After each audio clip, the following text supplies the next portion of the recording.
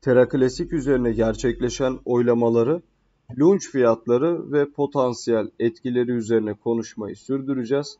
Bu şekilde aşağı doğru süre gelen bir haber mevcut. Baştan başlayalım. Diyor ki Terra Classic topluluğu değişimi güçlendiriyor.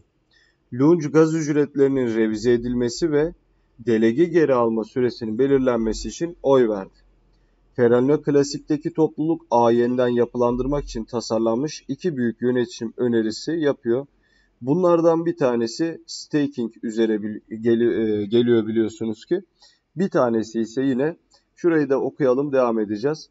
Her iki teklif de Terra Luna'nın diyor fiyatını artırmaya ve potansiyel olarak 1 dolar fiyat seviyesini çıkarmaya yardımcı olmak için oluşturuldu. Ya tabi artık oylamayı yapılıp da 1 dolara çıkarmayan bir oylama yok. Hani kürdanı şuradan alıp şuraya koyacağız e, diye oylama çıksa tabii ki 1 dolara sabitlemek için olduğu iddiasıyla ortaya çıkıyor.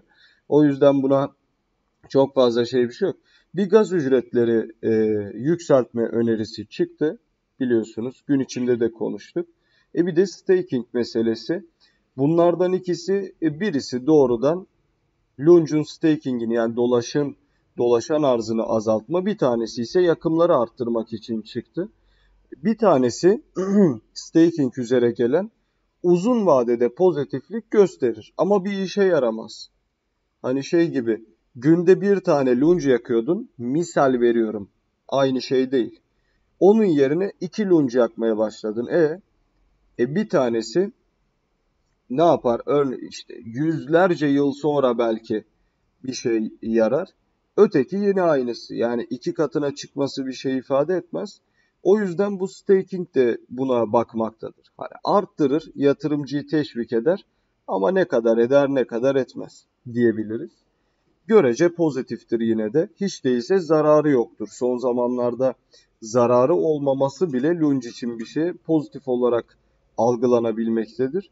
Ama vergiler konusu tamamıyla saçmalık. Gaz ücretlerinin artırılması. Ethereum mesela evet çok güvenli bir ağ vesaire gaz ücretleri çok yüksek. Fakat şu an mesela Terra Classic'ten gaz ücretleri çok daha düşük olan ve çok daha güvenli ağlar var. Hep bunu söylüyorum. Ben niye Terra Classic kullanayım arkadaşım? Hiç değilse gerçek bir ekosistem var ötekinde ya. Çökmüş bir ekosistem değil. Sıkıntı ihtimali olan bir ekosistem değil. Bozuk değil senden çok daha güvenli. Sen bozuksun. Neyin ne olacağı belli olmaz. Üstüne bir de daha pahalısın. Ben enayi miyim yani? Çok affedersiniz. Enayi miyim? Eşek miyim? Niye onu kullanayım ben? Onun da sebebini söylesene. O yüzden gaz ücretlerini arttırmanın hiçbir anlamı olmayacaktır. Terella klasik topluluğu ağda bazı değişiklikler yapmaya çalışıyor. Topluluk gaz ücretlerinin mevcut miktarın iki katı kadar artırmayı ve staking yetkisini geri alma süresini kısaltmayı hedefliyor. O zamandan beri çok fazla ilgi gören ve topluluk üyelerinden önemli destek alan tekliflerin özünde Lunge doğrulayıcıları token'ın toparlanmasına yardımcı olmayı umuyor. Uzun vade bu ağ değişiklikleri varlığı 1 dolara getirebilir ve USDC stablecoin'in tekrarlanmasına diyor yardımcı olabilir. Allah aşkına ya. Yani böyle bir yazı olabilir mi hiç? Tam bir saçmalık. Bildiğiniz saçmalık. Şuna bak. Crypto News Flash diye bir site. Hani giriyoruz üzerinden şey yapalım diye yazdığı şeylere bak. 1 dolara getirmesine yardımcı olacakmış. Nasıl yardımcı olacak mesela? Hacmi öldürerek mi? Daha az işlem yapılmasını e, getirerek mi? Böyle mi? Borsalardan yine önceden olduğu gibi delist edilmesiyle mi? Nasıl olacak onu da söylesene. Bunlar mı 1 dolar getirir? Popüler ağ doğrulayıcısı Jesus Lord Twitter'da oylanacak iki lunge yönetişim önerisinin arkasında olduğunu açıkladı. İlk teklif teklifi 11.639 onaylanmamış staking'i 14 güne indirmeyi amaçlamaktadır. Teklif aynı zamanda lunge staking yetkisini geri alma süresini 21 günden 14 güne düşürmeyi amaçlıyor diyor. Aynen. Ya diyorum ya zaten nerede saçma bir şey varsa bu şaklabanın başının altından çıkıyor. Ben de o yüzden sevmiyorum. Nerede böyle saçma sapan bir şey var, milletin aklıyla dalga geçen bir şey var, Bu soytarı çıkarıyor piyasaya. Bu peyda ediyor. Jesus is Lord. Kullanıcıların ağda stake etmelerine daha fazla esneklik getirecek ve daha fazla kullanıcıyı stake etmeye, teşvik etmeye yardımcı olacaktır. Bu Lunge'un dolaşımdaki arzını azaltmaya yardımcı olacaktır. Doğrudur. E, şu anda 2 trilyon hedefi tutulmaktadır. Ancak bunun için yine yakında gelecek olan Quicksilver ve faizlerin artırılması da lazım. Evet.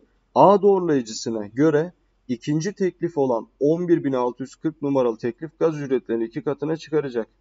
14 günlük delegasyonun geri alınması süresi süresi içinde volatilite karşılanabilir. Hızlı, yetkilendirilmemiş tekliflerle ilgili karmaşıklıklar ve cezalardan kaçınılabilir. Doğrulayıcı yetkilendirilmemiş dönemdeki azalmanın lunge belirtecini değiştirebileceğine inanıyor. İkinci teklif olan teklif 11.640 gaz ücretlerinin mevcut miktarını iki katına çıkarılmasına yardımcı olmak için tasarlandı. Bu da bir sonraki zincir yükseltmesinde tüm zincir üstü gaz ücretlerini ikiye katlayacak. Bu da topluluk havuzu için finansman arttıracak ve staking gaz ücretleri ikisi arasında 50-50 bölündüğü için ödüllenecek. Doğrulayıcı hareketinin arkasındaki mantığı şöyle açıkladı. Peki, zincir üzerindeki gaz ücretleri şu anda çok ucuz. Göndermek için yaklaşık 8 lunch 3067 dolar ve staking ödülleri çekmek için 67 lunch 2056 dolar üst sınırı da yarım sent diyor. Evet benzin ücretlerinin iki katına çıkmasıyla benzin dediği gaz işte. Gönderme işlemi için yaklaşık 16 lunch yani 2.013 ABD doları ve staking ödülleri çekmek için 134 yani 0.11 ABD doları olacaktır. Bu düzenleme son lunch fiyatlarına dayalı olarak gaz ücretlerimizi işlem başına 13 sent ile 1.1 sent arasına getirecektir. Ha, ha. Evet.